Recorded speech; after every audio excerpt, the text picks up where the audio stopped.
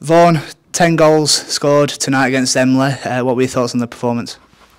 I thought we were at it from the get go, and we were expect we were expecting a tough game, and we prepared right, and thought his attitude from the get go was spot on. His work rate, his togetherness, and it's obviously showed tonight. We scored in ten. Thought we were ruthless. Probably could have had a couple more to be fair, but we're happy with ten, and we move on to the semi final, and we're all happy and buzzing. Want to win this cup.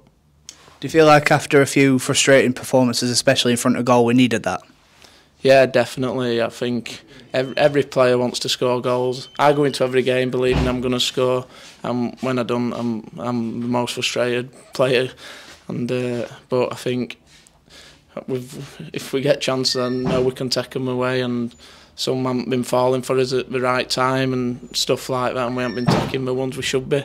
But I think we can all score goals, and I believe in every one of them to score goals, and so be it. Uh, fantastic performance from yourself, possibly perfect hat trick in there. But let's talk with the, the, the first goal then. Uh, how important was that just to get off of the mark? I think first goal always settles you down, and uh, it's always nice to score. And we, I think we kicked on after that, went in and give us more belief, and we just carried on playing, switching it, and I thought we played some really good stuff. Let's talk about that that finish from the edge. Then uh, just talk us through it. I were always going to kill it in. I, have heard a few uh, shouts to stick it back stick, but not a chance when I'm in box there, and just thought go for it, and it's luckily gone in. Are they always the most satisfying when they, they clip in off the post? Not really, mate. I thought he was going to bounce out because I, had, I think I had one against over similar edge at box, and Matt just hit the bar. And Matt, Matt could have been a game changer, to be fair. And, but luckily, this one's gone in. I'm delighted. Uh, we don't often speak about penalties, sort of, but this season we've seen a range of takers. Was it good to be back on from 12 yards? Yeah, definitely. I'm, I'm always confident from the penalty spot. The gaffer's done a list now from the other time, so we all know what the order is, and we'll all stick by it, and that's it. And then that left-footed shot, uh, it came in a, a, flurry of goals, didn't it? That second half one. Yeah, I thought it nice little through ball from Al Meggs, their kid, and got it on half turn and just hit it, and it's gone in. Luckily. And then finally, to to sort of get that tenth one, put us into double figures, get your fifth. Uh, how was that? I was buzzing really. I thought I was going to try to take it off me, but he's listened to the shout and it's gone in, and I'm buzzing. Wish I could have got another one. uh, we don't often see you at the the back post, sort of towering over the defender. So being in that number nine position again for the second period, uh, what was that like?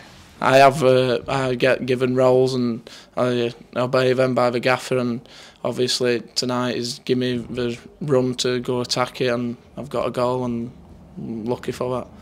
And like we were talking just before this interview, you've scored one goal, you scored a brace, you scored a hat trick, four uh, on your debut in the in the league for us when you when you first joined, and now five goals. How does it feel to score five? It's always nice to score any amount of goals, to be honest with you, mate. And I've been on a bit of a run, and I, I love scoring. There's no better feeling. So to get five on a night is unbelievable, really, and I'm pleased. After a couple of games without yourself uh, getting on the score sheet, was it a, a big relief tonight?